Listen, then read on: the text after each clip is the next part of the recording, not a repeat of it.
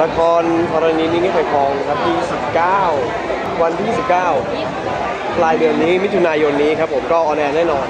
ใช่สองทุ่มครึ่งนะถ้าผมจะไม่ผิดนะครับผมปล่อย teaser ออกมาแต่โอ้ยคำสั่งว่าคล้ายกันเรื่องเดิมเลยครับผมอันนี้ไม่ทราบเหมือนกันครับคิดว่าเราคิดว่าคล้ายไหมคะเอ่อไม่รู้สิครับผมผมเองเกิดเกิดไม่ไม่รู้ว่าเกิดไม่ทันหรือว่าไม่ดูช่วงช่วงที่เป็นเดียวที่ฟองเล่นครับผม แต่ว่ามันมันก็คงจะมีอะไรที่แตกต่างกันบ้างครับผมละครเรื่องนี้เห็นบอกว่าร้องเพลงด้วยเนาะใช่ร้องเพลงประกอบด้วยครับ น้องก็ร้องน้องอาย่าก็ร้องครับผมก็เป็นเป็นครั้งแรกในในชีวิตที่ร้องเพลงประกอบละครครับผมก็ท้าทายมากก็มีพี่หนึ่งลงวิทย์ที่แบบว่าคอยดูแลคอยแบบว่าแต่งเพลงให้อะไรเงี้ยก็ดีใจครับชอบไหมคะกับนักแสดงกับนักร้องชอบอะไรบ้างจริง ๆ แล้วนักร้องเพลงยากกว่าเยอะฮะ เออร้องเพลงมันก็ต้องมีฟีลลิ่งด้วย แล้วก็หนึ่งอันดับแรกคือเนื้อเสียงด้วยนะ แล้วก็ถ้าสมมติว่าเราไม่สบายหรือว่าเป็นไข้อะไรไปเนี่ยก็ลำบากมากเหมือนกันฮะแต่เห็นก็ชอบเล่นดนตรีชอบ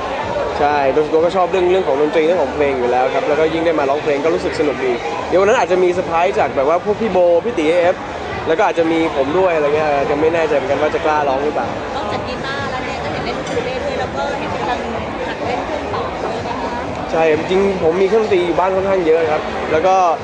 เอ่อเล่นไม่ค่อยเป็นสักอย่าง คือส่วนมากก็คือมีแล้วก็แบบมาเล่นขำๆอะไรอยู่ที่บ้านเวลาเหงาๆอะไรเงี้ย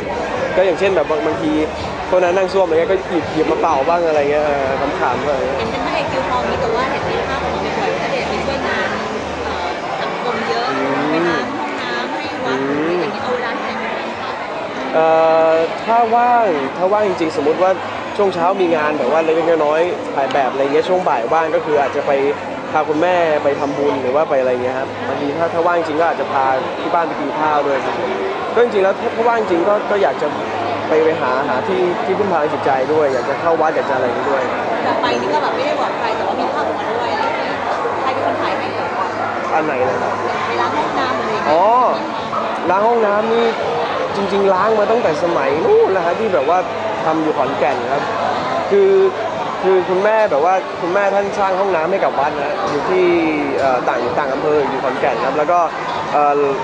ทำสร้างเองแล้วก็เราเลยแบบว่าต้องต้องไปล้างช่วยวัดด้วยอะไรเงี้ยไปดูแลช่วยก็เลยแบบติดนิสัยชอบล้างห้องน้ำตั้งแต่เด็ก เอิ่มคืออย่างหนึ่งคือผมว่า คนคนอื่นอาจจะคิดว่าการล้างห้องน้ำมันคือสิ่งที่สกปรกที่สุด แต่ทำไมเวลาเราไปล้างอยู่วัดแล้วเราถึงกล้าล้าง แต่ทำไมเราไม่กล้าล้างส้วมของบ้านตัวเองเนี่ยนั่นนะสิมันก็เป็นเรื่องแปลกแต่ว่า มันก็ทำให้เราคิดว่าเออมันสิ่งสิ่งของพวกนี้มันเหมือนกันมันอยู่ที่จิตใจเรามากกว่าอะไรเงี้ยก็เลยล้างล้างทั้งที่บ้านล้างทั้งอยู่วัดเลยครับค่ะได้ข่าวว่าที่เชียร์เห็นเป็นบริษัทไม่ได้เป็นหน้าอ๋อของแล้วอะจริงพี่โดนโดนให้ลดน้ำหนักเหมือนกันแต่ว่าไม่ได้แบบว่าถึงขั้นรุนแรงมากขนาดนั้นคือน้ำหนักเพิ่มเพราะว่าอยู่กองแล้วกินเยอะเลี้ยงดีอะไรเงี้ยก็เพิ่มเพิ่มมาจนแบบว่า เราไม่มีเวลาไปออกกำลังกายด้วย ช่วงนี้ก็เลยแบบว่าเอ่อได้ได้เทรนเนอร์เป็นพี่เดี่ยวไอซีก็ได้ละครด้วยกันเรื่องแรงปรารถนาพี่เดี่ยวก็แบบว่าคอยสอนคอยอะไรอย่างนี้ด้วยมีลดลงบ้างหรือยังคะลดแล้วครับ ลดลดมาได้ 3 กิโลแล้วครับผมลดมาได้ 3 กิโล ซึ่งตอนกลับจากญี่ปุ่นตอนนู้นขึ้นมา 80นะฮะจาก 72อะไรเงี้ยอ่ากินเยอะ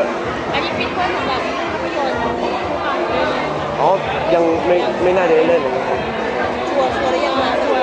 น่าน่าน่าจะชัวร์แล้วครับน่าจะไม่ได้เล่นแล้วเสียดายไหมคะ